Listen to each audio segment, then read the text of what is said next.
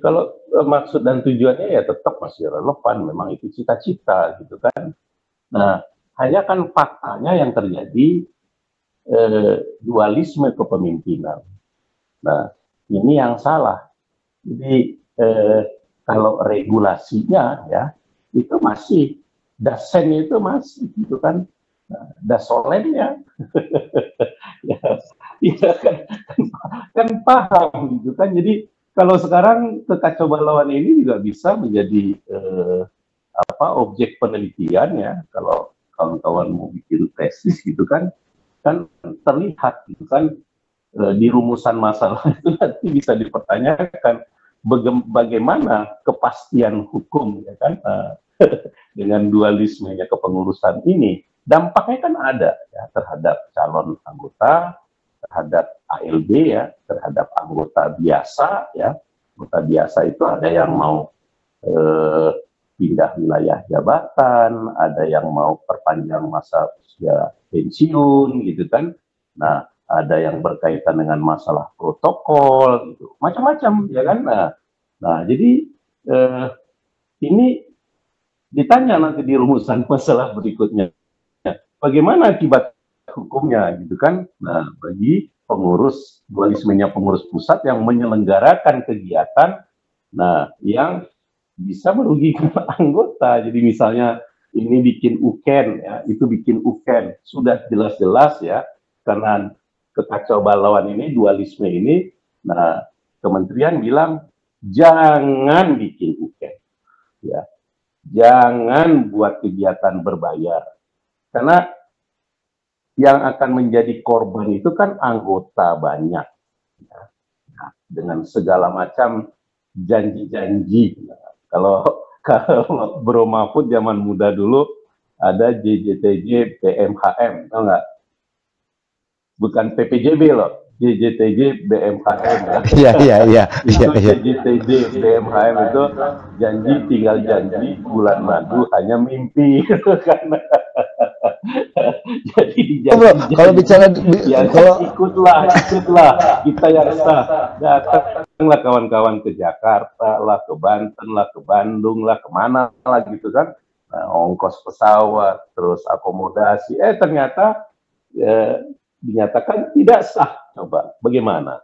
Tapi kan kalau ya kan? kalau lihat perkembangannya saat ini dualisme kepengurusan yang awalnya ter, terjadi di tingkat pusat saat ini sudah merambah ke tingkat Pengwil dan Pengda.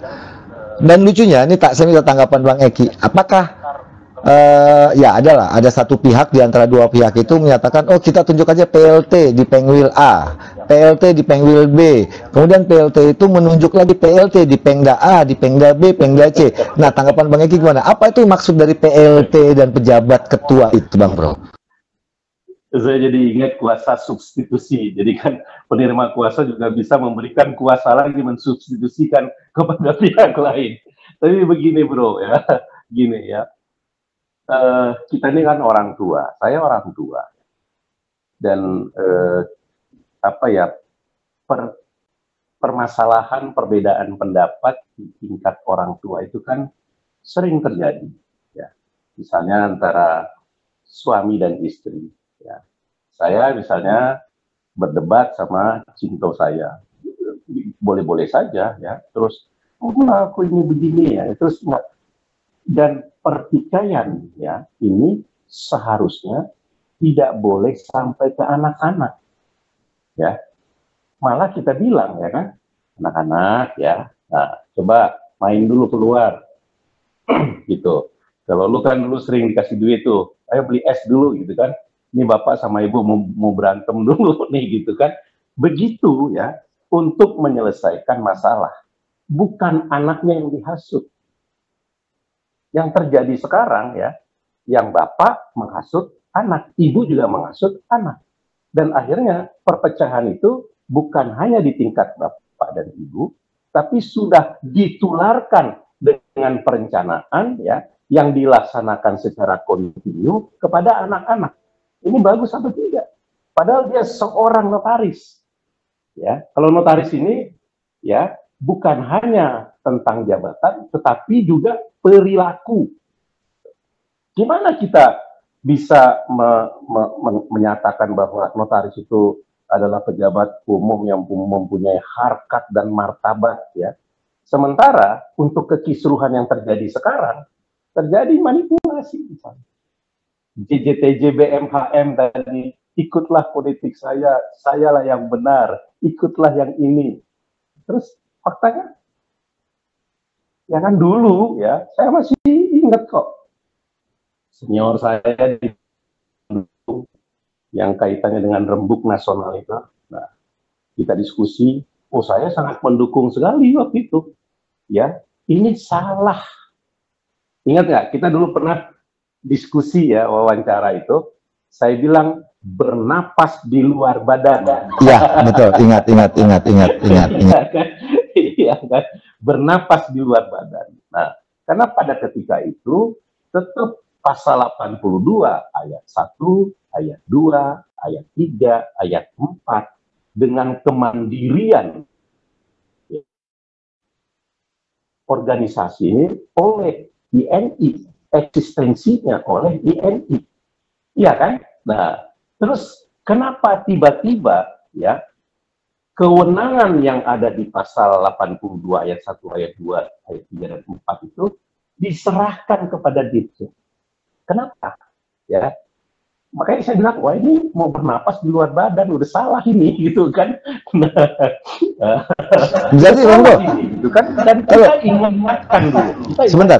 bang bro berarti ini terkait dengan kalau saya langsung kaitkan dengan surat edaran yang saat ini membuat sedikit gerah di perkumpulan adanya surat edaran yang dikeluarkan oleh Kumham apakah salah hmm. ketika Kumham mengeluarkan surat edaran dengan tegas uh, sikap tegas dan isinya jelas. Kembali saya, ya, kembali saya tanya aja sekarang. Dulu ya, yang memohon, ya, yang membawa, mengikut sertakan Pak Dirjen siapa? Apakah ya. PPINI periode 2019-2022. Huh? Di dalamnya ada DKP nggak? Ada. Ada beberapa senior nggak? Ada. Ada penwil-penwil nggak? Ada kita ingatkan, ingat nggak dulu, kita juga diskusi kan, kewenangan bertindak penwil, ya, nah kewenangan bertindak penwil, ya, kalau mewakili penwilnya, itu ketua dan sekretaris. Surat-suratnya, ya kan, tidak sah kalau hanya ditandatangani oleh ketua saja.